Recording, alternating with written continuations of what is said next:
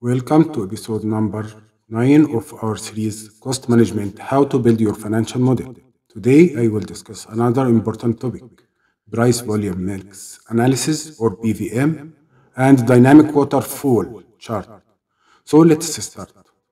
The PVM analysis is to break down the changes in revenue, as it's known sales bridge analysis in some topics, or contribution margin or gross margin into key components by analyzing the budget versus actual, or you can also analyze your current period versus previous period results.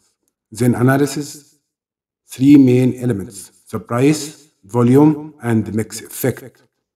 There are a lot of important resources about this topic. One of it was published by Anders on his LinkedIn profile. Anders Liu-Lindberg asked an important question cash is king. But how do you improve it? And for the revenue growth, he stated that we can break it down into several value drivers. The first level breakdown is volume, price, and mix. Also, I have asked Bryan Lapidus, the director of the AFP Association, about the PVM analysis. And he mentioned these important resources by the AFP Certified Corporate Financial Planning and Analysis Professional Exam Preparation Platform. The first image about the sales mix variance, and the second image about the potential root causes of unfavorable sales volume variance. I would invite you to read it carefully. You will find it in the comments to this video in the LinkedIn post. Also, I will mention the link to the website of the AFP Association and for the professional FPAC exam. Now let's start with the practical examples, but I will just focus on the PVM analysis. I don't want our video to be too long.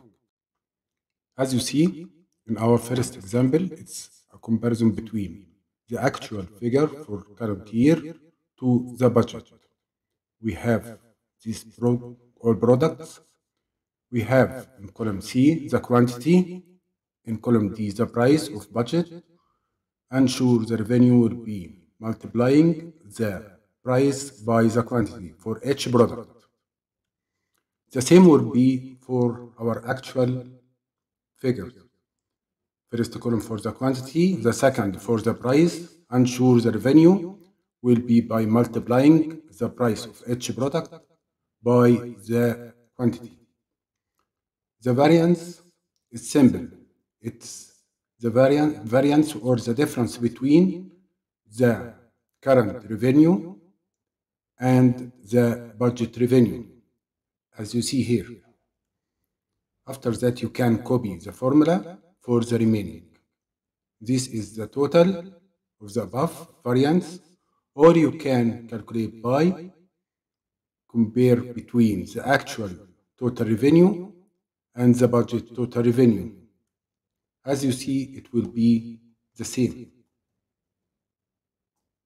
Look, the total is the same. For this format, you can use my same customer custom number format as you see you can find it on the excel itself. As we discussed before we here just to focus on the pvm analysis not on the excel function itself. You can find a lot of tutorial on my channel about the dynamic format and the dynamic images. images, sorry, as you see. Now for the important part about the product mix percentage. We need to calculate the product mix percentage for each product. Firstly, as per the budget, and after that, as per the actual figure. Then calculate the variance between the actual and budget. For the budget itself,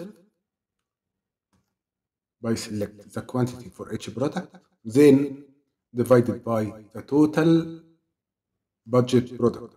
But please don't forget to press F4. Then enter. Then copy and paste for the remaining products. But best formula special. Let's check. The total should be 100%, as you see.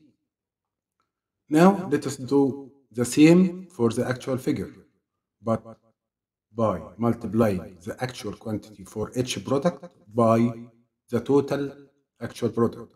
Again, don't forget to press F4, then enter, copy, and paste again for the remaining product. But again, best formula, special. Now, for the variance, it will be equal the actual figure for our current year minus the budget figure. Then again, copy and paste special formula for the remaining. Can ask about this custom number format. Again, I have used a special customer custom number format, as you see, plus and using the up down sign. I can prepare uh, a separate uh, video about the custom format. But let us again focus on our video today about the PVM analysis. Now, what about the price difference? It will be equal the actual price minus the budget price, then multiply the total by the actual, not the budget, the actual quantity. Press enter, copy, and paste for the remaining product. Again, paste special formula. Again, for this dynamic images, you can use it from here. Now for the volume, we need to adjust the budget quantity by multiply the budget product mix percentage by the total actual quantity. Again, by the total actual quantity to adjust the budget quantity, and don't forget to press F4. Then copy the formula and paste it on the remaining cells. Now we need to calculate the variance between the adjusted budget quantity and original budget quantity. Don't forget, it's the adjusted versus original budget quantity. As you see the variance here in units, I've used a custom number format to show the word unit beside each number, also to show positive or negative sign before the variance. Again, I'll make a separate video for the custom number format. Then we need to calculate the volume variance effects but as amounts not units or volume, to do that I will multiply the volume variance in units by the budget price. Again, multiply by the budget price not actual price, then copy and paste to the other cells. Now for the mix variance. We need to multiply the product mix variance by the actual total quantity, again by actual not budget total quantity. Don't forget to press F4 for the cell of total quantity, then copy the formula and paste special to the remaining cells. Now the effect of the mix variances but as amount not as units or volume, by multiplying the mix variance in units by the original budget price. Take care multiply by the budget not actual price, then copy formula and paste to the other cells. Finally look at cell Z13 of the total price volume mix variances, it should be equal the total revenue variances in cell K13.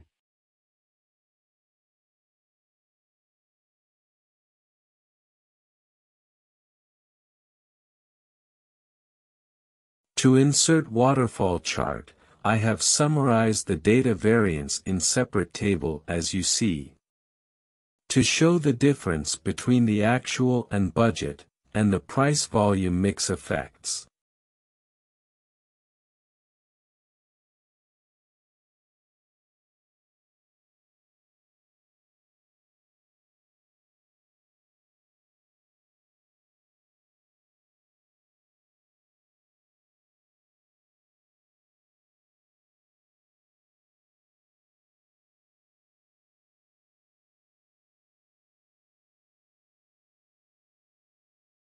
Go to Insert tab then click Insert Waterfall Chart. You can now minimize the chart then change its format as you wish, but don't forget to set the column of actual as total as you see. Then change the color of the decrease and increase, also the total actual and budget.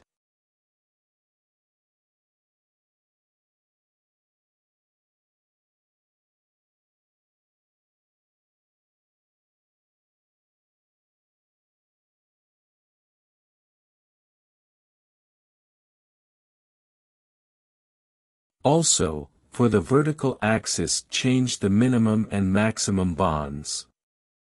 Also, you can change any format.